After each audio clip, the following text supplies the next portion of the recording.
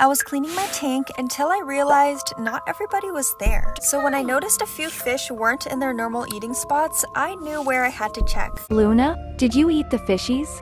No, why?